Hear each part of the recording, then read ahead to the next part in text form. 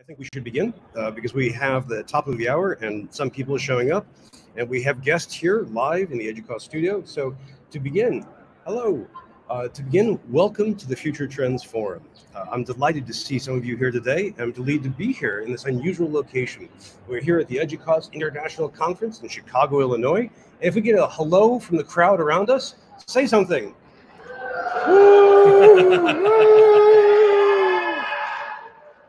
Awesome. Why don't you turn your camera around so people can see it? Just grab a laptop and see if it, yeah, you can see all those people there.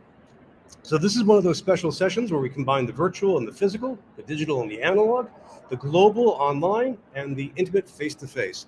Uh, so before we do all that, let me just introduce the program and explain how it works, what it's about, what we hope to accomplish, and then we'll start off with a whole bunch of conversations. So to start off with, uh, the Future Trends Forum is a conversation based program where we have discussions about the future of higher education.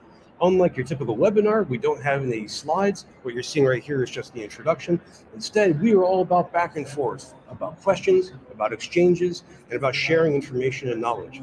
Um, the idea here is to collaboratively grapple with higher education's future. And we've been doing this now for almost eight years. And when I say we, uh, I'm Bryan Alexander. I'm the forum's creator, host, and your chief cat herder for the next hour of conversation. Now, if you want to learn more about the forum, we have a lot of stuff online, including an archive going back, again, nearly eight years. Just go to tinyurl.com slash FTF archive, and you can find uh, nearly 400 recordings of sessions.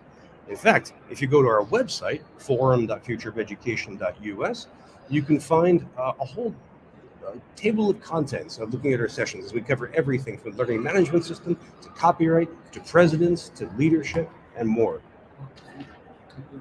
Now, if you want to see what we're coming up with, over the next few weeks, we have sessions coming up on a wide range of subjects, including information literacy, new developments there, intermediary organizations, uh, organizations that are neither corporate nor academic, and how they can help academia. And we also have uh, another session on the changing landscape of higher online education.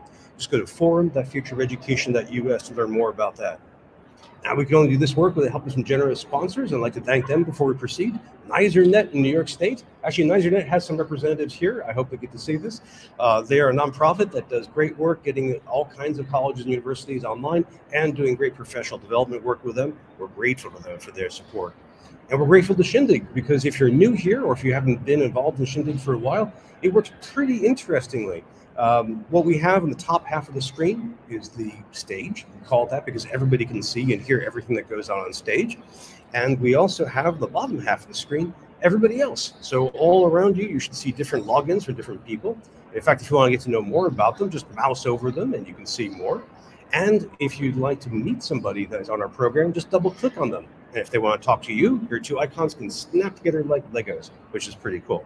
But how do you participate in this overall conversation? Well, there are a few ways. And on the mobile app, you should be able to see some buttons for this. And on your web, you should be able to scroll down to the bottom of the screen and see a white band running along it with a few different buttons. One of those buttons is a number. When you press that, you get a chat box. And people use the chat box all the time. In fact, if you haven't said hello in the chat box, say hello. Um, say hello from Chicago right now. Now, next to that chat box, um, on the white strip are a couple other buttons. One of them is a raised hand. Uh, and that, if you click that, that tells me you want to join us on stage, which is easy to do.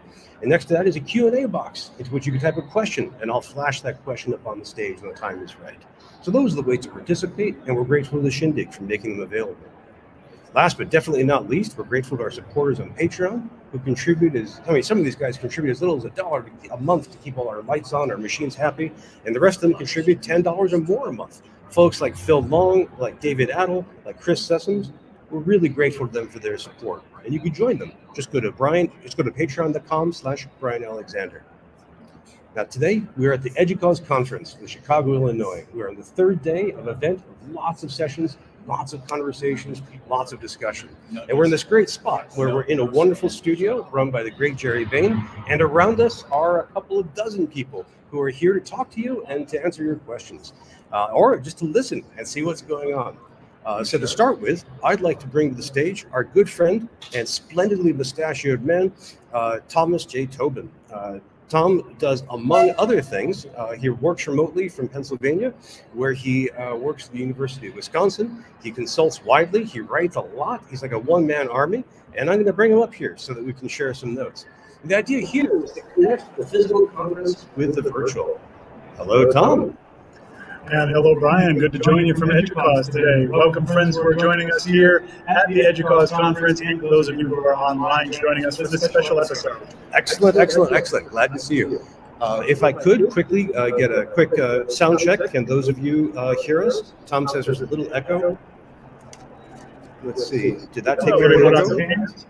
Yeah, it looks like I'm coming through and you are as well. Very good. Very good. Great. So, and uh, just for the people online, uh, we'll do this wave again. I'm going to turn my camera out here, and uh, those of you here, wave hello to your friends who are online in the session as well. Excellent. Thank you very much. Excellent. Excellent. So what I was hoping to do, Tom, was to ask you a couple of things. First, you were presenting a really, really great poster. I'd like to hear about it. But also, I want to hear about your experience here at EDUCAUSE. What have you been seeing? What have you been hearing? So let's start off with your poster. What was it about? Uh, I presented some research that's going toward the new book that I'm writing called Universal Design for Learning at Scale. I'm working with 11 different colleges and universities in the United States and Canada to take what had been up until now largely an individual effort. Here's how instructors can use the framework of universal design for learning in order to lower barriers for their students, but we're doing that in individual sessions or individual applications. I'm working with colleges and universities to help scale that up to entire institutions. And so I, I presented on that. I was grateful that a lot of people stopped by. And uh, listeners, if your college or university is anywhere along that journey, I'd love to hear from you as well and perhaps feature your ideas in the book. Well, I have to ask a couple of questions about that. One is, when we think about universal design for learning, we often think about accessibility. Uh, how important are accessibility offices or departments to this mission? Uh, accessibility offices, A, pay them more money and hire more staff for yours, period.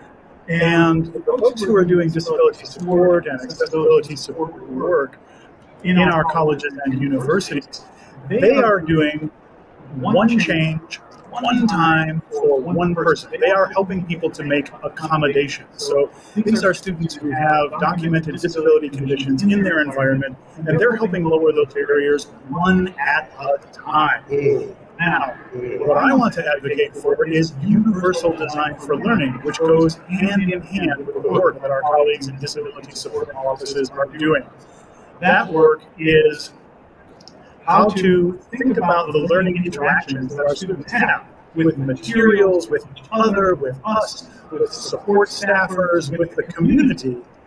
If all of those interactions, if we're designing them so that there's more than one way to take advantage of them, then we're, then we're barriers not only for students with disabilities, but also students who have work and family responsibilities, live far away from campus, or they just happen to be on their mobile devices instead of using more robust technology what that, what that does, does is by, is by lowering those barriers more broadly, we're actually, we're actually making more time for our colleagues in the disability service offices to spend more concentrated time with the students who need their help the most.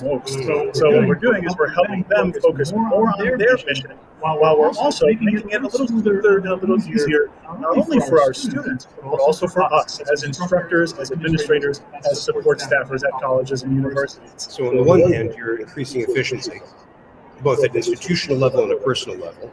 You're improving the experience that the students get and the, the quality of their learning and their outcomes. And you're also at the same time doing what they sometimes call the curb cut principle, which is if you make a, an accommodation for disability, it can also benefit people who are not in that disability category. Well summarized, yes. Oh, this is excellent. Uh, this is a terrific work, and we look forward to your book. And when it comes out, let me know so we can bring you back just to talk about that. That was splendid. Uh, what kind of feedback did you get, speaking of feedback, uh, from all the audiences that screened past your poster? Uh, folks, folks are interested in it, and if I'd have given this talk or poster five years ago, many people would not have known what universal design for learning is. UDL was one of the EDUCAUSE uh, top 10 issues just before the pandemic. So in, I believe 2019, uh, accessibility and universal design and universal design for learning made it into top 10 and a lot of people now know about know the concept. So people, so people were interested to learn more about how they can scale up because one of the big themes at EDUCAUSE this year is scaling up our efforts and increasing the efficiency of what we're doing collectively in lots of different areas of colleges and universities. It's interesting. I hadn't realized that um, about the that current issue for EDUCAUSE. Uh, in the in the chat, uh, Tom Haymes has a really good comment. Uh, he says that the uh, uh, if you're smart in your design, ADA, for those of you outside the U.S., that's the American Disabilities Act, uh, Americans with Disabilities Act. ADA concerns usually fade into the background. Uh, for instance, he says, since I don't give tests, uh, you don't have to worry about affording extended times and all those sorts of things. Uh, that sounds like a really good point, Tom. Thank you. Well, to, to carry this transition on a bit, if uh, as as you walk around the conference, what are some of the other themes and ideas that you're hearing about as you've gone hallways and as you've been to sessions, that kind of thing? Absolutely, I'm, I'm hearing three big themes here at the EDUCAUSE conference. Um, first off, socks are back. All of the vendors in the exhibition hall uh, are giving out. Uh, little swag items and things like that. And for the last few years, there's been a notable lack of free socks. But everybody's got a pair of socks for you here from the vendor area. So that's, free. That's, that's, theme, that's theme number one. Uh, and to be more serious, though, the big theme on everybody's lips today is generative artificial intelligence, generative AI.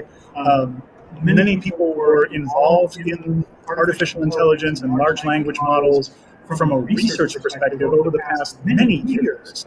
But it was only until November 23rd of 2022 when ChatGPT got released that suddenly it's on every administrator's mind. How are we going to respond? And we're just now coming out of the oh, this is neat and it has so much possibility, and working through the emotions of, of ban and block and yes. what yes. do we do with it and how do we make ethical use of large language models and, and ChatGPT and, and generative AI. So there's a huge theme in lots and lots of uh, sessions, and even sessions that aren't nominally about generative AI. People are putting it into their, their thought processes. Well, that's interesting. I mean, in, in my session on generative AI, we thought it was possible that one outcome that we might right now be in an interstitial stage um, we're passing from the pre-generative AI into the post-generative AI stage, in which case AI will be ubiquitous. Uh, and now we're having bumps and scrapes because it's brand new for us right now. Absolutely. So generative AI, the socks, and one more thing. One more thing. And the, the one more thing, uh, in all of the conversations I've had with folks who are CIOs or in the information technology space, the other concern is about budgets collectively in higher education, we're seeing an enrollment cliff. Uh, we don't have as many students coming to our colleges and universities as before, and uh, you know, unless we are the Ivies with gigantic endowments, the majority of colleges and universities in North America, we're feeling a pinch, and we're having to figure out where we can go in order to figure out efficiencies, uh, work with smaller budgets, uh, make consortia, those kinds of things. Uh, from the stage today, we had the EDUCAUSE Top 10 session from Susan Grajek, and she eloquently uh, summarized some of that research that the folks at EDUCAUSE have been doing and talking about how worldwide we're seeing that trend of how do we do more in straitened circumstances. And so those two trends put together are a little bit, a little bit, a little bit challenging. Um, the big AI wave and fewer resources. You bet. Um, I've got to say, Tom, I, I could talk to you forever. Um, and but I've, I've taken you out of your session. Uh, let me thank you for coming. Uh, tell everybody what's the number, Sure, how do we find it?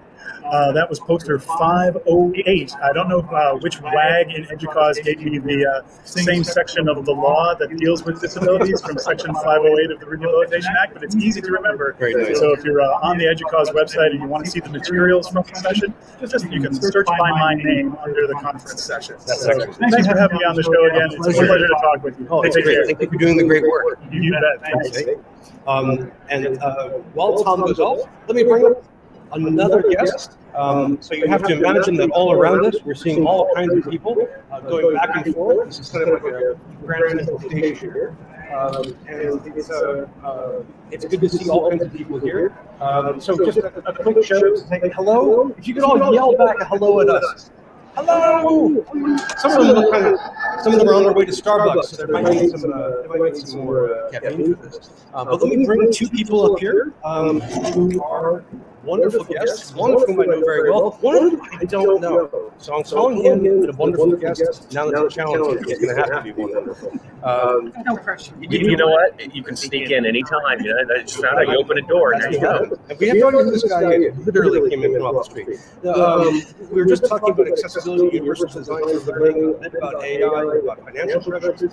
Now let's talk about another topic. In order to do so, let introduce my good friend Lisa Stephens. Lisa is in Bigger Buffalo right now, right? I am. Uh, where she's, among other things, doing a zillion about education and technology. She's a brilliant person, wonderful networker, someone you absolutely need to know. And, and, and she runs a great website if you're interested in learning spaces. So if you're thinking about digital commons, you're thinking about creating your library, you're thinking about creating a lab, you're changing your classrooms up, FlexSpace is, for my money, the best place in the world to see examples, to see research, to see resources, and to connect with people. FlexSpace is just astonishing. Now, years ago, we hosted Lisa to introduce FlexSpace. And I'm so happy to have her come back and update us to see what's going on. So first, before I bring my other colleague on the stage, let me just ask Lisa, hello, how is your presentation of FlexSpace going here today? What do you have to tell us about that? What's the Oh, latest? I, I would like to tell everyone that this is a freely available resource. If you have a .edu account, please share your learning spaces uh, at flexspace.org. You go in, create an account, and people are using FlexSpace to get all sorts of ideas. And this stranger next to me Yeah, this this guy with this, with this facial hair problem. is, is Joe Way from UCLA and also the chairman of the board of the Higher Education Technology Managers Alliance. Oh. So we, we um, are working together to grow FlexSpace even bigger.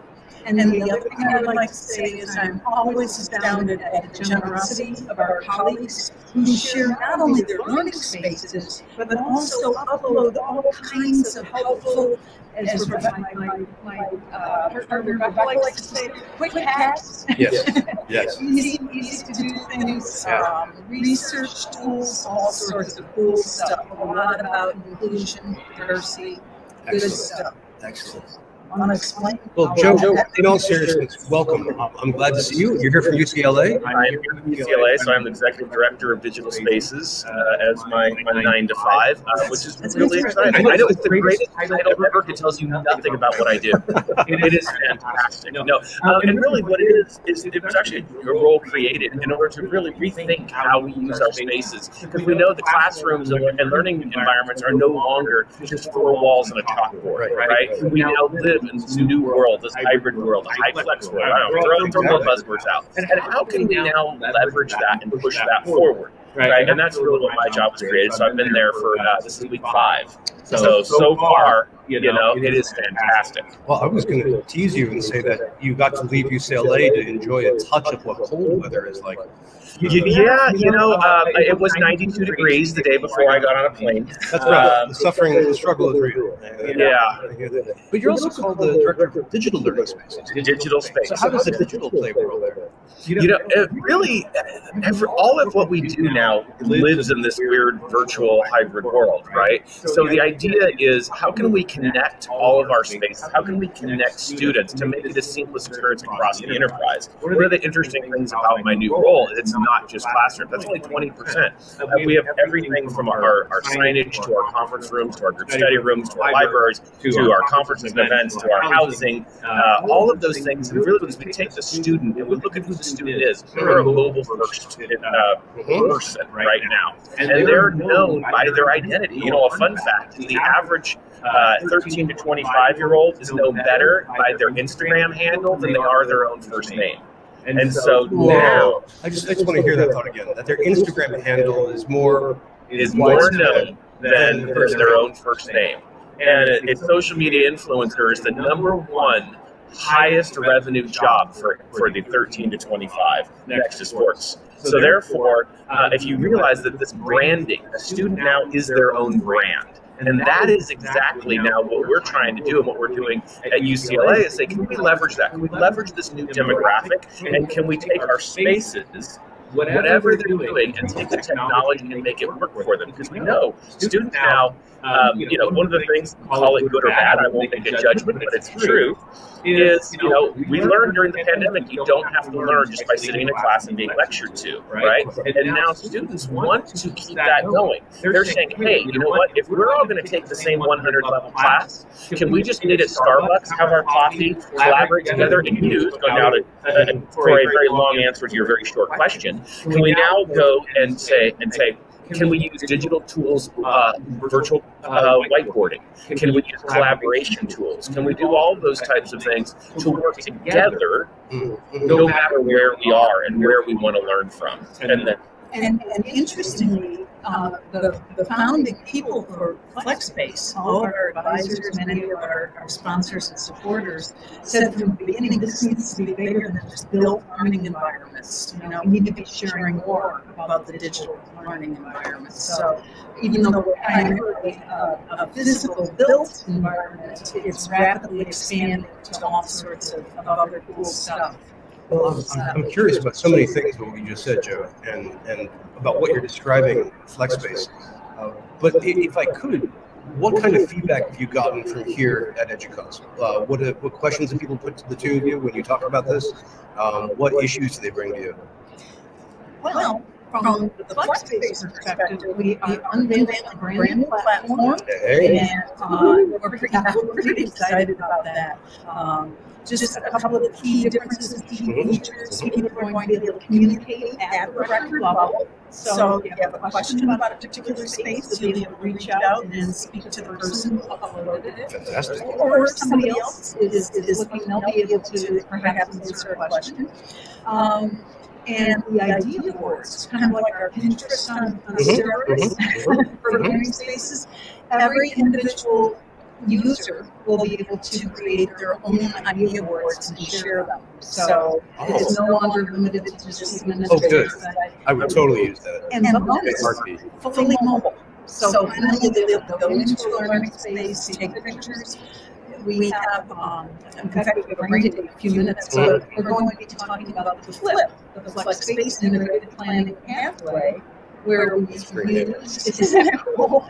Uh, where we use the, the EDUCAUSE learning space rating system to help campus advisors understand what the learning potential is in their various rooms on campus. And then we get them all together around the table, because they've got some data to work with, and get them into FlexSpace to start looking at cool rooms. Because we're, we're in 75 different countries now there's some cool spaces in there. Belgium, from Japan, Australia, Canada. Yes, certainly Australia. That would be awesome. So that sounds terrific. Mm-hmm. Uh, and uh, and Joe, I'm curious, what have you heard? Uh, yeah, from you your know, perspective. Echoing that, one of the great things, because obviously we're unveiling this week the um, you know, the dating, the merging, the collaboration of FlexSpace into HETMA, the Higher Education Technology Managers Alliance, HETMA.org. Um, and we have uh, you, you got an opportunity to do a commercial, you throw a commercial in there. No. I was going to ask you for the URL. So, so HETMA.org, and it's actually a great community. We're an advocacy organization, actually only uh, four years old, but we have a few thousand members now, 750 institutions. Uh, our, our list serve of over 30,000, um, which is crazy. Um, but it really it was founded in order to give a, a community for technology managers in their in, in their learning environments. And I was always a fan of FlexSpace from day one. Ever since I had I was brought into higher ed uh, from live events, and I kind of came in and said, "Hey, where?" Um, how, do, how do I even start designing a classroom? And FlexSpace was the answer. So there's been this like this, this friendship all along that, that turned into a wait a minute. Now we have this new 3.0 platform. Now we need the community with it. So bring in the community with the tool, I think is going to be huge, and it will always be free. And being able to bring this together and leverage great, uh, great partners in the industry are going to allow that to happen. So anybody at any institution who's looking to be able to create a space, use a space, be effective with a space, will be able to go here, start from the beginning. like to me the exciting part is the idea boards. I love it. So I love that now we can work through the process and collaborate through the whole process while building up the people who are the ones who end up using it and supporting it. Productive social media, quite literally. Uh, this sounds that sounds excellent. Did you give us the URL for FlexSpace again? FlexSpace.org. There you go. F-L-E-X. S-P-A-C-E. Org. We're very excited to be working with our development team that can Mm. understand this project because everybody is essentially a mini administrator. So um, that's we're, we're very anxious to share what 3.0 looks like with our friends, and we need to go to a great day. Well, I don't want to keep you from that. I do want to say in the chat, uh, uh, Tom Haymes mentioned designing a whole campus around third spaces, and he shares a link for that. So you should definitely check Oh, that out. Thank you, Tom. Yeah. Well, thank you both. Uh, Thank you very much. Thanks for letting me crash your party. Oh, my pleasure. Uh, Hetma and FlexSpace, wonderful to see both of you. Thank you so so much. Happy Brain Day. And uh, everybody, uh, we would, of course, be happy to hear any of your questions about the conference. Uh, we'd love to hear any of your thoughts, anything you'd like to talk about. And uh, in the meantime, there are a few people here who could possibly join us. We have all kinds of folks, including, I mentioned, uh, NYSERNet. We do have a representative here. Uh, and uh, while we wait to see people, um, so, you for um, can I put you on stage? Uh, could I just move this over here? and Just Or you gonna want us to do? oh, you want me to get over there? Yeah, why don't you move over? Okay, I'm talking to an invisible person, right? This is often a sign of some kind of early onset mental illness. But instead, I'm talking to my good friend Gerry Bayne. Uh, Gerry is a multimedia master. Uh, he is based in Illinois, excuse me, in Indiana. I keep saying that here. Um, and he is, among other things, the uh, me- what's it, what's it called? multimedia multimedia program manager for EDUCAUSE. So for years, he's been doing interviews, he's been doing podcasts, he's been doing videos. And he's just uh, terrific at this, and uh, he's been a great host. Um, and so I wanted to first thank him, but also say, um, but also to say, um, what have you been hearing uh, as you've been talking to people? You've been doing interviews. You, know, you're right here in this space. You get to have people walk by and ask you questions.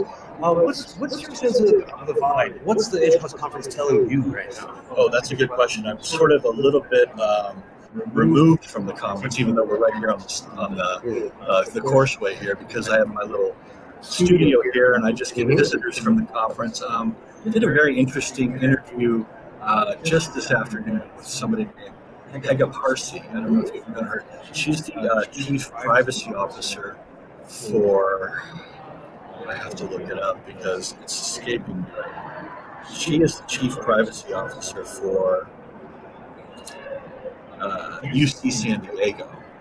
And we talked a lot about uh, privacy in regards to vendor relationships. And uh, that was a very interesting conversation. I very much encourage people to check out her post or session. Um, it's a very um, comprehensive view of privacy. one that's much more expanded than, than what we think of. Her, the thrust of her argument is we think of uh, we think of privacy in very narrow terms, Mhm. and it encompasses so much more, especially in the digital realm that people don't think of. Um, and that the vendor and private industry uh, is talking sort of a different language of privacy than academia get those together. That was interesting. Um, I talk to? Uh, I- you know, I'm the sort of person where you put me on the spot and you in trouble. Oh, you're, you're great. That was that, that was a very rich blank that you just drew for us. But it's interesting that you say that because it, it kind of it reminds me of what uh, Joe was just saying a few minutes ago. That this is a generation that rises where social media is so crucial to what they do. Uh, and, you know, the one line about someone's you know, Instagram handle being more famous than their own name, right? Um, how does that, do you think, jibe with this problem of privacy? That's a good question. Um, I, I that's just so not my expertise. I, I wouldn't know. I, I do know that um, you know that we're being bought, as sold, bought and sold as profiles to different industries. So you know there may be a Bryan Alexander out there that's uh, yeah that's a different Bryan Alexander than this other industry has. Mhm. So we have many personalities, um, and I think that's that's happening more and more. And you know, people don't. People are still, you know, even though we're pretty far into the digital age, we're still young enough that people are just now starting to grasp that. That there are personas have developed out there that they don't even maybe know about, that have been drafted from what they bought here, who they talked to there. You know, and what does that mean? That's a So, fantastic way of describing it. It reminds me a bit of personas and design thinking. You know, where, um, but think that we have uh, doppelgangers running around um, constructed of us um, that are similar but different in some key ways. Right. So maybe for one week you're looking for a watch for your wife or Yeah, birthday. You, want a, you want a vintage watch, you want an old watch. So suddenly there's a profile of you out there that's very interested in watches, even though two weeks later you're not that person anymore. But you, that profile lives on somewhere. I'll tell you I gave a. Um, I, I wrote about uh, this is some time ago, about 12 years ago, about giving up caffeine and giving up alcohol on the same day, uh, and also giving up spices. So it was a serious move. And I posted about it on Facebook. Yeah, I could tell you about the spot, but the key thing was I started getting served up ads for substance abuse. Uh, you know, Al-Anon and, and everything else. I was saying, no, I don't, I don't need this. It, it, I was kind of charmed by it. You know, it's like Facebook is caring about me, you know, but they weren't. But, but so there's there's a persona of me that's going out that has these issues, right? Uh, what happened? Is that persona now gone? Because that was a while ago. Uh, you know, it's uh, that's a fascinating thing. Could I ask you a couple questions about Absolutely. your presentation? On See, now we're, we're turning the tables, right? Yes, what I do. and, and this is great.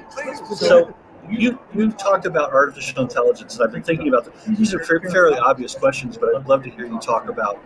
Do you think?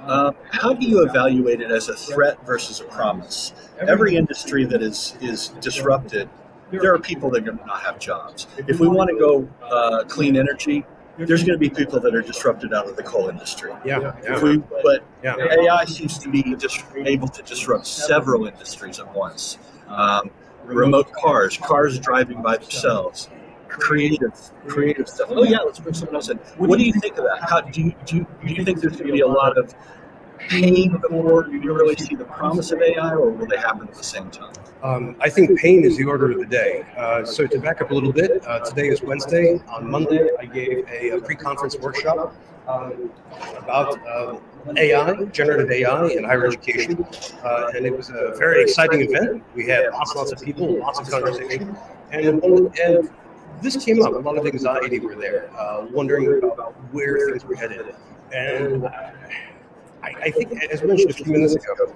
um, that we have I, I think there's there's the possibility that we're moving to a ubiquitous AI future in the near term, and, and this is one that what we're experiencing now may be interstitial. In fact, one of the things that came up uh, was that uh, while we have tools like ChatGPT or Midjourney or Pi, that those might be really interstitial because the way most people are experience AI is through the tools they're more used to.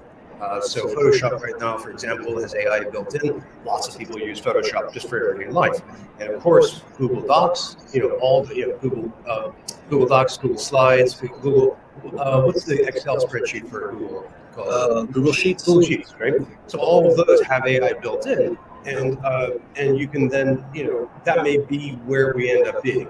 Uh, Can I ask you one last question? Oh no, no, I haven't even finished answering it, but Oh, it's a great question. No, uh, so I, I- think in many ways the pains, some of the pains are the pains of this transition. Some of them are caused by some of the proponents of AI who are doing the old move fast and break things kind of school. Uh, and some of it's, uh, it's posed by just the sheer complexity of modern civilization into which we're jamming this immensely complicated technology. Uh, it's also technology that's moving super quickly, changing on, on a weekly basis and a daily basis at times. Uh, and that that just adds the complexity, adds the friction, um, and that's not even getting dystopian. Uh, so I think that's that's a quick answer to your question. Can I ask one more question? I know we need to move on to talk to this Sure. fine gentleman right Sure. here. Um, do you think this move and development in AI in all fronts? Uh, we've got some creative tools like Midjourney, Yeah, uh, yeah, ChatGPT to, to do some creative things as well. absolutely. That taken into consideration as well as all the other things. Um, do you think the progression of AI will have any effect on the humanities? Mm, Um, Mm. humanities has been suffering for several years. yeah, Uh, people are. This is my. This may be inaccurate, but I sense that people have been moving more towards academia for job-related things, science, science-related things, Yeah. industry-related Yeah, things. The idea of the humanities as a um, profitable or encouraged uh, pursuit has dwindled a little bit. Dwindled a lot. And I wonder if do you think AI will have any impact on that, uh, to positive or negative? I think it will have a huge impact in a few different levels. Uh, and one of them is the, the context that enrollment in the humanities has been dropping steadily. Uh, more so in some fields than others. Languages other than uh, English, for example, has been really steep. I think religion is going to continue to drop, especially as religious belief in the U.S. continues to drop. Um, my own field, where I came from, English has been you know, dropping as well. Uh, history is, is doing poorly. Uh, so I think it depends on how we react within the humanities and how the rest of the world perceives uh, AI. So, for example, if we think about AI, generative AI is an artistic and creative tool. This helps us communicate. This helps us write. This helps us draw. Then we might see some help as people go to an art class and they say, "Yeah, okay, I want to learn a paintbrush. I want to learn photography. I also want to figure out how to make Midjourney really dance and sing." Uh, you may have someone in a journalism class who says, "Yeah, okay, I'm, I'm good at writing here, but I also want to know I'm going to get hired by the Chicago Sun Times, right? Just making this up now. Uh, and if they may be having AI built into our internal content management system. I want to know how to work with it. Uh, so that's one possibility. It's also possible that uh, we make it experimental because if you take a look at some of these questions, what does it mean to write with ChatGPT? This is the kind of question that people in literary criticism been wrestling with for hundreds of years. What is a creator? What does it mean to remix things? we have a lot to say, unless we drop the ball, unless we don't engage, which is, I'm afraid, also possible. It feels like we're becoming more editors than originators. You are good at this. You said you were drawing a blank. You just drew a wonderful phrase. We're editors, not originators. I, you know, there's a great documentarian, Errol Morris. Wonderful, wonderful guy. He did Oh, uh, yeah. Thin Blue Line, for example. It's a wonderful documentary. Fog of War. Fog of War. Oh my gosh. Uh, and a movie about Rumsfeld. It's the only time I've seen him on screen and actually lose his temper. But Right, right. But, uh, but he, I, I asked him we were doing I said, what does the digital world do for filmmaking? And he really surprised me. He said, you don't need to shoot video anymore. I said, what? What do you mean? He said, well, think about it. There's so much video content available that you can make a movie right now by remixing. And he cited the great British documentarian Adam Curtis, whose work is nothing but remixed pre-original video that he arranges and then speaks over. And they're powerful. Uh, I don't know if Morris is completely right in that, but it blew me away. We're editors. That may be where we go. Uh, friends, everything is happening at the EDUCAUSE conference. We're going everything from very technical details to deep philosophical and structural questions. Now, I'd like to welcome another guest. Uh, and this is a friend who is in my line of work. He's a futurist, and he also works with EAB. Uh, and this is Ed. Uh, Ed, Ed, I always want to put an L in there. I'm not quite sure why. Um, Yeah, for, uh, for a, a five-letter last name, it gets uh, mangled in so many different ways. So I've been using it my whole life. yeah, I mean, Smith works, right? Uh, Jones works. Yeah. Well, I I, haven't I, all I know is uh, I'm very grateful to Ed Venit for buying me so many beers at bars, uh, noisy bars over the years. That's been uh, it's been a great benefit. So uh, you appreciate it. Yeah. Um, if I could add in something to the conversation just concluding, um, uh, composers, uh, an AI engineer I mean, for music. for music. Yes. Um, so you can imagine the AI generated music. Absolutely. And it is now about what kind of prompts do you want to put in there Definitely. to generate There's a, there's a, an academic in Ohio, and I'm sorry I don't have his name, um, but he had built a generating Baroque music tool. And it basically generates what sounds like Bach or Vivaldi coming from the next room. Yeah. And it's it's, it's pretty convincing, if, unless you're a deep expert in 17th century music. Uh, it's, it's pretty surprising, but um, but this is a good point. Uh, well, we were just now, just before we started, talking about uh, the Apple uh, tool uh, GarageBand, which comes with so many pre-existing clips, and you can make a lot of stuff just by shuffling it around. So, Ed, what do you, what do you, first of all, what do you do at EAB? Oh, a and, great and, and what do you, what did you do here at EDUCAUSE?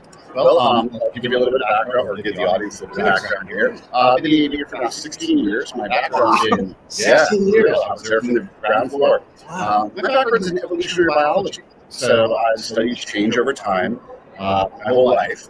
Uh, hence my, some of my interest in futurism. Uh, my time at EAB has been devoted to student success.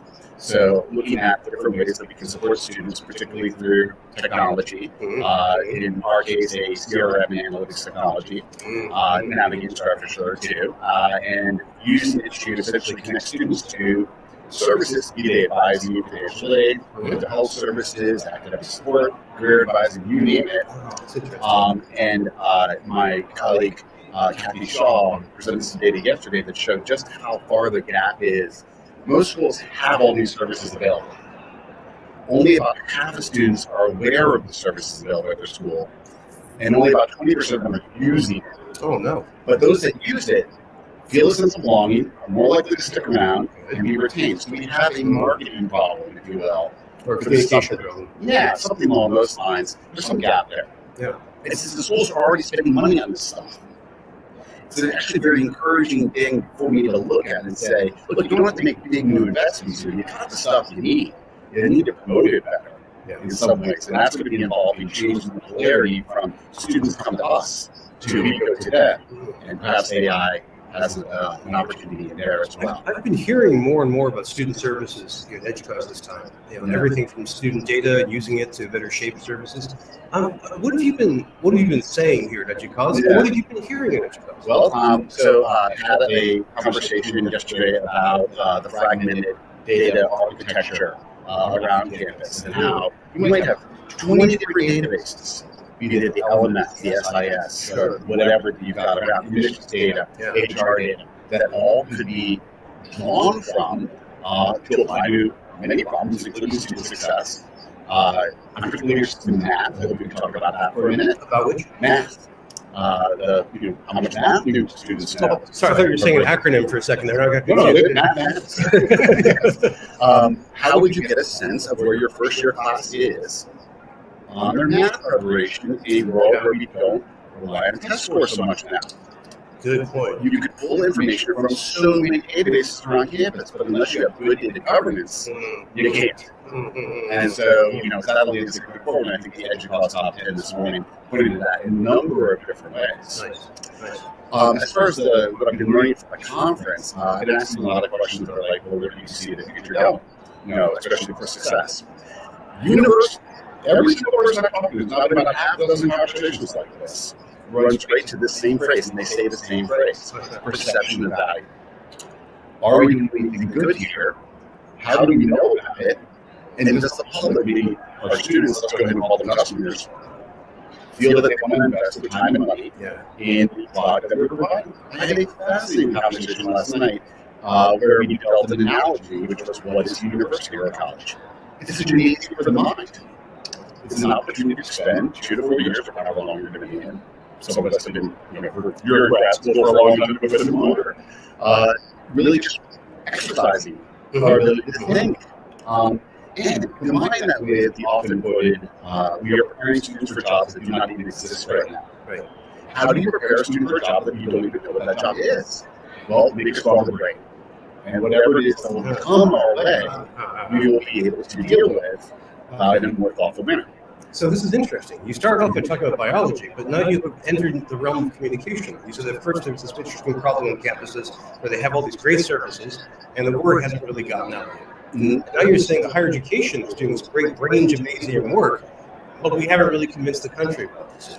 Yeah, it's hard to talk about, right? Because uh, somehow we got pigeonholed in talking about earning Yeah. lists, you Yeah. know, whatever the wage premium is on Yeah. the degree. Uh, and then that naturally orients us into, okay, this is a business major, we'll make more money. This is a computer science major. And yes, all that, right? But what about the data that's out there right now that we say, uh, you know, at age 35, a liberal arts major begins to make more than a technical major? What happened there? Well, think about the gymnasium analogy. They, they got to move between different skills. They got to jump between different machines. You know, they shot hoops and they lifted weights and they tried to balance beam. Sure. And when they leave, they can take a job at the balance beam, and then maybe later they can get a job at the basketball business. Yeah. And I will go ahead and say, as a, as a STEM major myself, humanities majors make better managers. They understand their people better. That's part of the training. Yeah.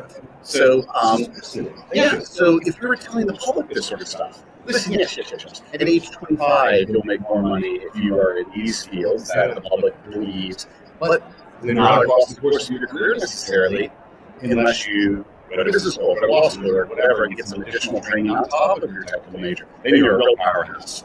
Um, but we're terrible at talking about that sort of stuff and communicating it that way. we need to get better at that. We do, especially because we're now moving in the future with fewer available Gen Z students. There are just fewer of them. Fewer, fewer.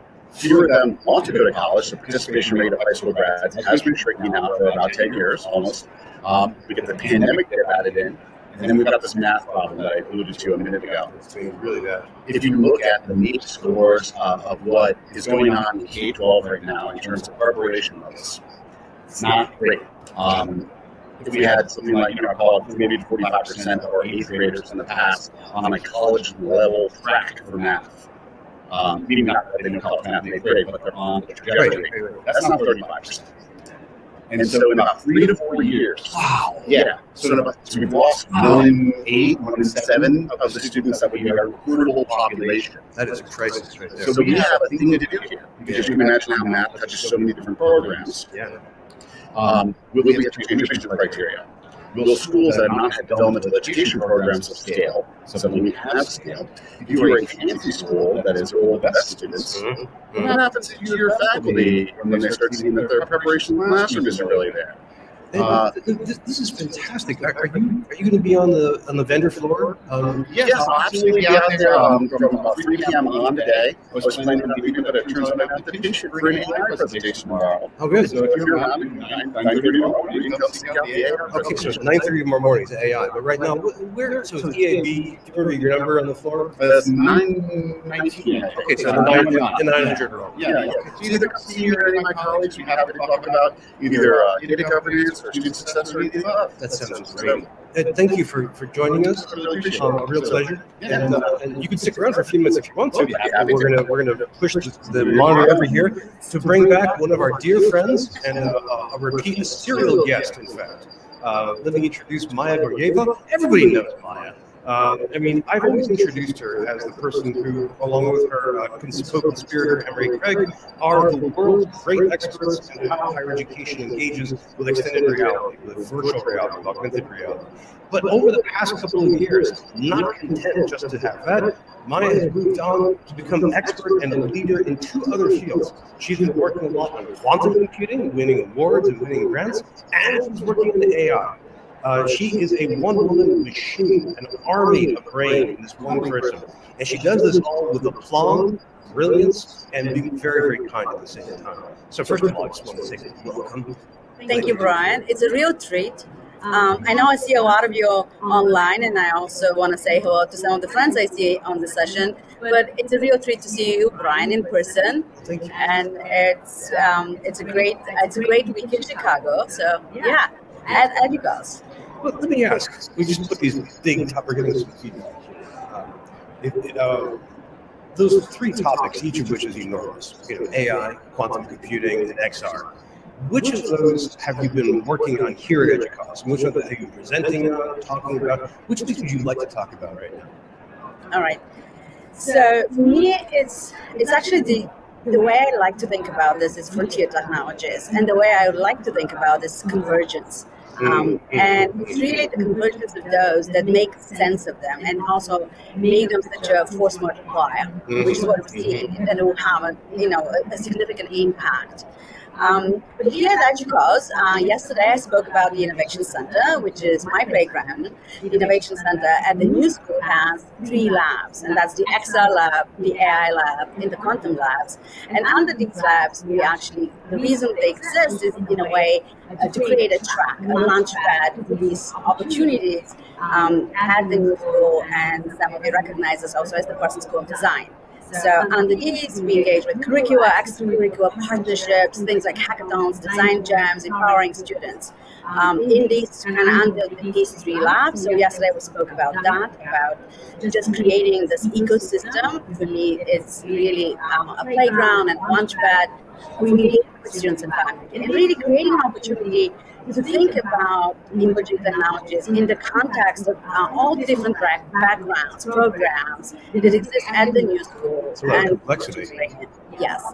Um, but tomorrow, tomorrow morning, um, I do get to do a critical conversation with, yes, my co-conspirator, Emory Craig, on the new ethical frontier, and that focuses on AI in higher education and society. And that will be something that this fall, in particularly, we picked up an incredible pace at, at the new school um, in terms of our engagement and conversations with faculty and students. So, as we spoke earlier this week, I've been mentioning we are running a series of events and workshops um, and we kind of try to put them in a long form and short form, and that's my thinking. And long form is these conversations that are beyond just a demonstration. It's really on the ethical and philosophical um, kind of questions and components. And I think we, you know, bringing bringing a, bringing a little bit more of a movement and time and high level. Um, reflection, but also some of them kind of need immediate conversation in higher education. And then on Tuesday, on Thursday, I get to bring my research assistant, and she actually uh, stands by me, and we go into things like Midjourney and stable diffusion and. Uh, um, whatever else comes our way, Adobe and sound and video, and we and it's a really kind of playful session, but we get into hands-on into it, and so um, it's a real treat. Um, and uh, Julia is uh, just an amazing design and technology undergraduate student at Parsons. Oh, fantastic! An undergrad. Oh, we're looking forward to meeting Julia. Uh, this sounds terrific, and I love the way that you're working at such a high level. And of course, And I are both very delighted to see this such a futures-oriented level, thinking about how you can combine AI and quantum in order to, for example, power content creation and VR and XR. It's terrific stuff. But what, what are you hearing from all the participants here at EDUCAUSE when you talk about this stuff? Uh, do they bring you projects they have in mind or questions, or are they frightened? What kind of feedback do you get? Yeah, it's interesting. I mean, there are lots of good sessions, and as usually it happens, the session provides a great platform for the conversations that linger. And sort of the, the level of engagement in the conversation post session, I think, is just as um, being just as insightful and, and a good opportunity for me to, to kind of get into um, more of the uh, deeper questions. I think today, right, we're in a space where a lot of people it's still learning. And I think it's good to be in a learning mode. Uh, and if you think you know what's happening, then I would caution that because, uh, first of all, it's going with rapid speed, space around us. Um, and also, we're just scratching the surface, right? We, um, I mean, we have a lot of institutions have brought in things like chatbots and other things, and we have some awareness how to run this, and they serve good, good purpose um, in, in a, addressing some questions. Um, and then, you know, there's a lot of conversation, lots of conversation about ChatGPT um, and um, academic integrity. Mm-hmm. Um, and rightly so, here at EDUCAUSE, lots of people um, behind at home are in charge of, of running some of these services. Um, so very, I think, a very kind of question around um, academic very strong trend around this conversation. What we make of this, I think, still um, looking at what are the other opportunities, um, and I think it's very uneven in, until un, how we how we think about that um, across our programs. Um, so I think there's some conversation, and also how we prepare our faculty staff to engage with that um, whether it's in professional development or in the classroom. So I'm not seeing as much as deeper level. I think that this is there's an awareness that needs to happen. But of course, this project is just happening. They're right now happening. So what I see a lot more is um, a, a, bit like on that level, just communicating. Um, we need to do this, and this is what we're doing. I think we'll know uh, even even in institutions, and we did the same thing. We ran similar things in the spring. It's still like I think the reflection point is is much more on on doing things and and running things, and and less on like um, I guess. Um, you know, communicating results, but that's that's like that's that's akin for the moment. This is this is fascinating. Um, I, I think what one of the things I've been hearing from where you took that answer uh, is something that we were just hearing from Ed, and also that we heard earlier from Tom, and that we also heard from Joe and from Lisa, how much of this question of technology.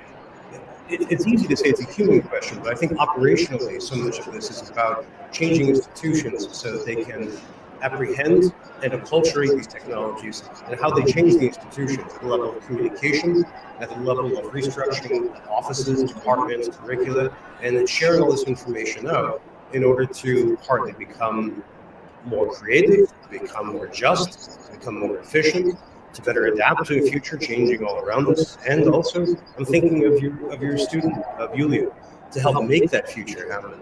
Um, I, I, think that's fantastic. Um, and we are at the end of the hour. We have to wrap things up. Um, we just heard from uh, several people about where to find them here. Maya, where can we find you at the conference? So at the conference tomorrow morning, Thursday, at 9:45 a.m. Um, it's actually in the central co- concourse level, right next to the booth and right next to the entrance. It's an open session. It's going to be right here, actually publicly kind of available. Stop by. Um, and uh, yeah, and we will be bringing what I think will be a, a, an event and a series of conversations that have taken place this this week to to a moment of um, really thinking um, in that what happens in that next frontier. Mm. How do we evolve? Uh, because the, the question is not, it, it is really about that transformation. We've been talking about for it for the last two decades. before you and me been in this conversation for a long time. Um, but at this point, um, we have no time left. If we want to, if we actually want to make sure that our students um, really engaging with us, that our institutions are going to be successful, um, the time is now. Exactly. What a great moment to end on. And uh, I'm not going to be here tomorrow, but everybody else should be, so they can go see your session, Maya. Um, Maya, Ed, thank you both so much. It's been great having you here.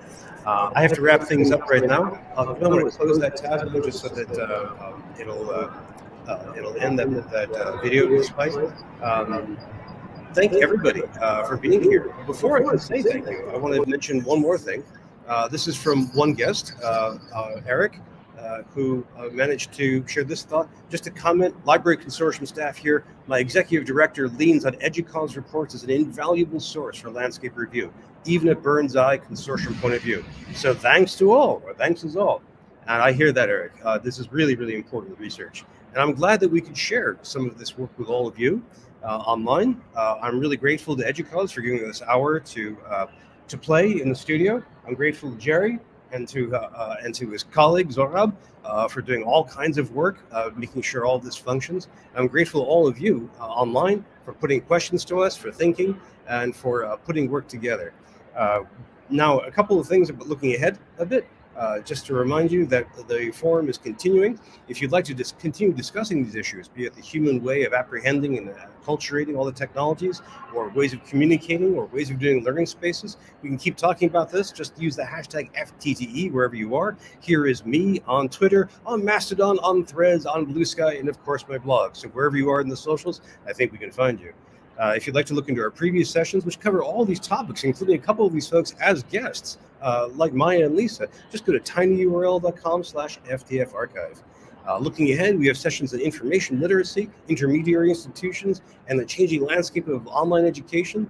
And thank you all for being with us for this extraordinary live session. Thanks everybody for contributing. Thanks to my guests who I've pulled off the street to talk. Um, we'll see you next time online. Be safe and be well, everybody. Bye bye.